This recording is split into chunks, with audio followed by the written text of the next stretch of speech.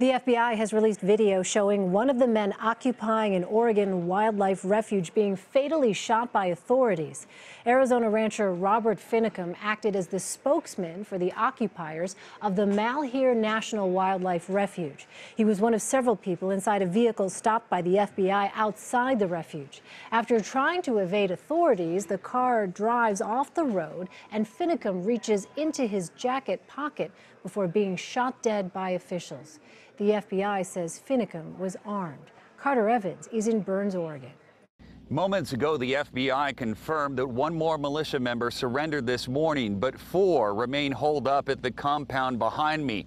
Special agents also released video of the shooting incident that occurred during a traffic stop with militia leaders on Tuesday.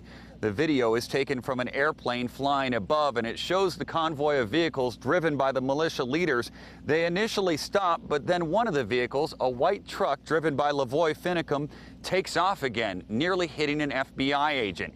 He crashes into a snowbank and at first he gets out with his hands up, but then he reaches for his waistband, and that's when federal agents open fire, killing Finicum. Again, four remain holed up in the compound here behind me. Early this morning, one of them released a video saying they all want to go home, but one of the militia members is facing federal charges, and the other three have vowed to stay here with him until the government drops those charges. So for now, this standoff continues. Elaine?